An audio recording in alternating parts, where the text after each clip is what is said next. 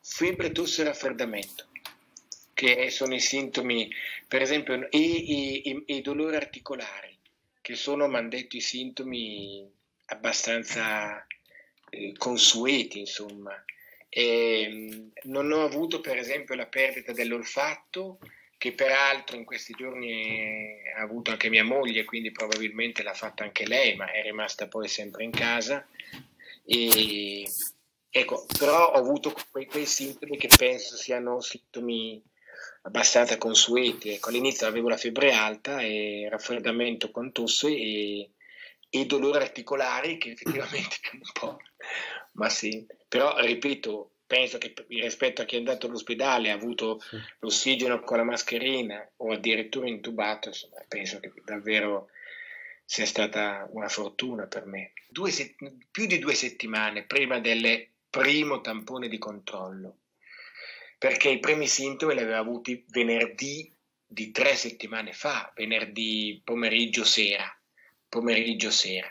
E, e, e, e il risultato giovedì mi hanno detto, giovedì m'han detto eh, è positivo e quindi eh, non, non, faccia il tampone oggi ma lo faccia eh, martedì prossimo e vediamo martedì come va. Quindi martedì saranno 25 giorni, ecco circa.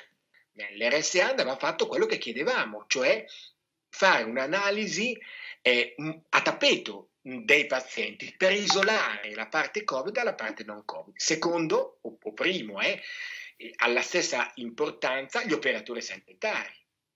Operatori sanitari che hanno contratto evidentemente il virus, non, alcuni non hanno ricevuto tampone.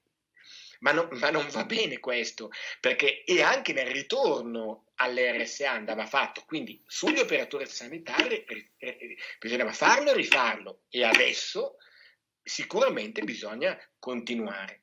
I presidi noi li abbiamo procurati come comune, noi li abbiamo procurati come RSA, ci siamo mossi da soli, però è chiaro che eh, i, qui, anche, anche, qui i presidi, da, da, chiunque arrivassero, voglio dire, da organismi superiori, erano necessari. Allora li abbiamo procurati con le unghie e con i denti, trovandoli da diverse parti, però erano assolutamente necessari ed indispensabili. Poi le ricordo un'altra cosa noi abbiamo fatto una scelta che era una scelta non in linea con le regole e con le indicazioni regionali. Abbiamo fatto la scelta di tenerle chiuse le RSA, cioè di non tenerle aperte ai pazienti, ai, ai parenti.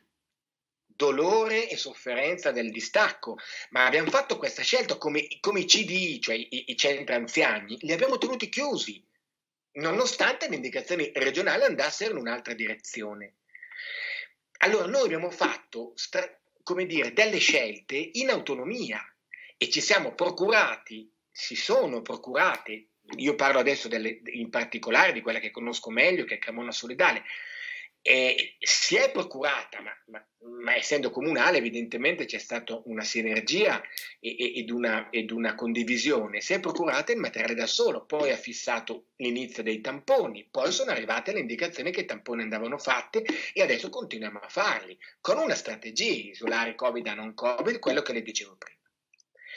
Serviva una strategia e serve una strategia coesa a livello di tutte le RSA, questo serviva non, non, non, nessuno ha mai detto a, a, a, a tappeto su, sui 10 milioni, ma chi l'ha mai detto? Nessuno, ma serviva una strategia, adesso serve questa, così come, così come per i pazienti Covid non acuti, non acuti quelli, quindi di rientro, come dire, non vanno messi nell'RSA, non vanno messi nell'RSA, non vanno messi nell'RSA, perché è uno sbaglio, un errore strategico fortissimo, anche se c'è una disponibilità.